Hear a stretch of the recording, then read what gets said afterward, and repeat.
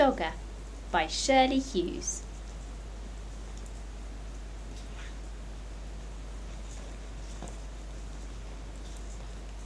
Once there was a soft brown toy called Dogger. One of his ears pointed upwards and the other flopped over. His fur was worn in places because he was quite old. He belonged to Dave.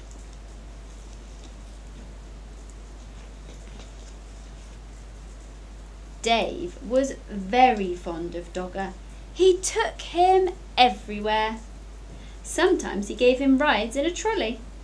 Sometimes he pulled him along on a lead made of string like a real dog. When it was cold, he wrapped him up in a bit of blanket. Now and again, Dave's mum said that Dogger was getting much too dirty. She showed Dave how to wash him in a bowl of soapy water. Then they hung him up by his tail on the washing line to dry. Dave's baby brother Joe liked hard toys. He liked putting them in his mouth and biting on them because he was getting teeth. Dave's big sister, Bella, took seven teddies to bed with her every night. She had to sleep right up against the wall to stop herself from falling out. But Dave liked only Dogger.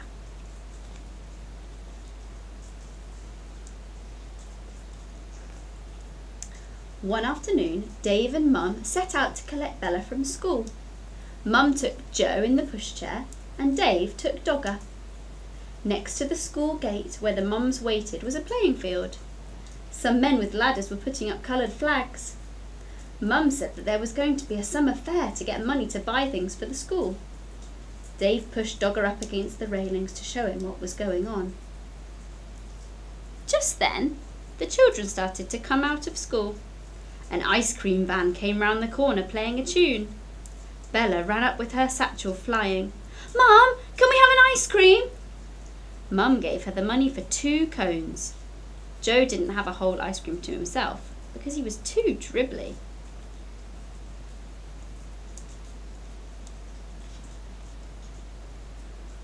The way home, Dave walked beside the pushchair, giving Joe licks of his ice cream. Joe kicked his feet about and shouted for more in between licks. At tea time, Dave was rather quiet.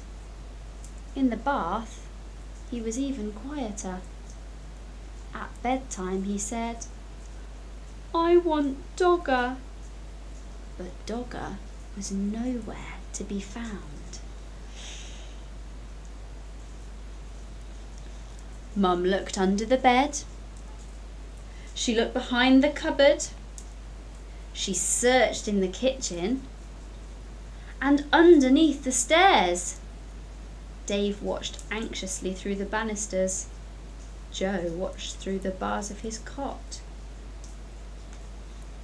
Uh oh, where is Dogger?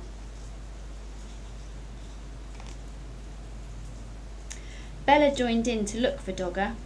She turned out her own toy box in case he was in there, but he wasn't. When Dad came home, he looked for Dogger too. He searched in the shed and down the garden path with a torch. But Dogger was quite lost. Dave was very sad when he went to bed. Bella kindly lent him one of her teddies to go to sleep with, but it wasn't the same thing as Dogger. Dave kept waking up in the night and missing him.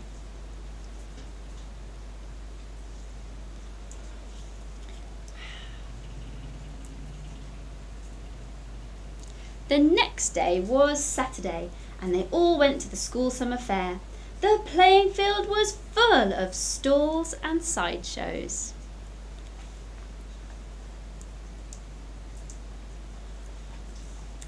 There was a fancy dress parade.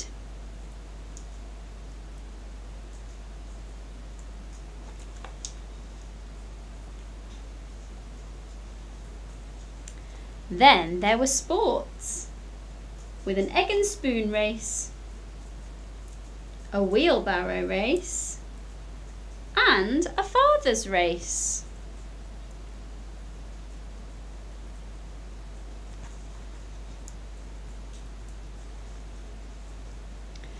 Bella was very good at races. She won the three legged race with her friend Barbara.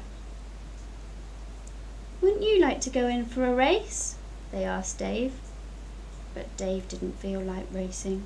He was missing Dogger too much. Then, another very exciting thing happened to Bella. She won first prize in a raffle. It was a huge yellow teddy bear wearing a beautiful blue silk bow. He was almost as big as Dave. Dave didn't like that teddy at all.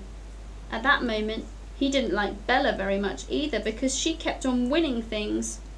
He went off on his own to look at the stalls. Oh dear, I think he needs to have a think about that, doesn't he? One lady had a toy stall full of knitted ducks and cars and baby dolls in bonnets.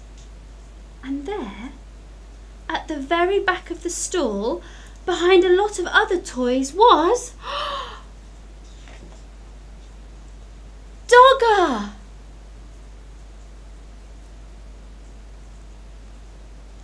He was wearing a ticket saying five shillings.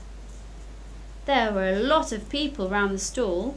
Dave tried to explain to the lady that this was his dogger who'd got lost and somehow been put on the stall by mistake. But she wasn't listening.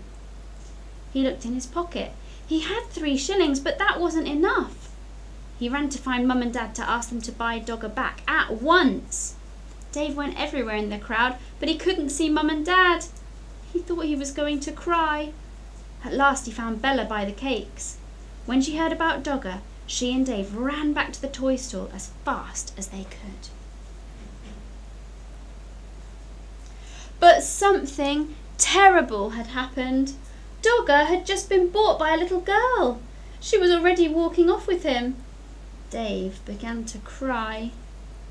Bella ran after her and tried to explain that Dogger really belonged to Dave and could they please buy him back?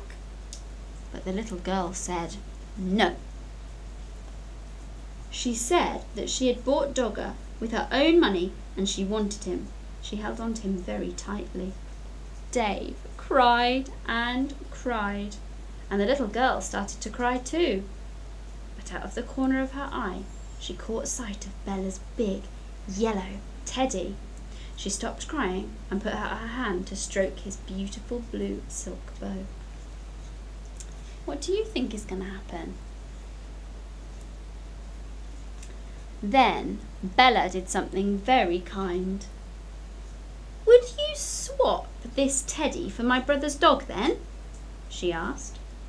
Right away the little girl stopped crying and began to smile. She held out Dogger to Dave, took the big teddy instead, and went off with him in her arms. Then Dave smiled too. He hugged Dogger and he hugged Bella round the waist. Thank you, Bella, he said. That night, Dave had Dogger in bed beside him. Bella was practicing somersaults. Shall you miss that big teddy? Dave asked her. No, said Bella. I didn't like him much, really. He was too big and his eyes were too staring. Anyway, if I had another teddy in my bed, there wouldn't be room for me. Mm-hmm.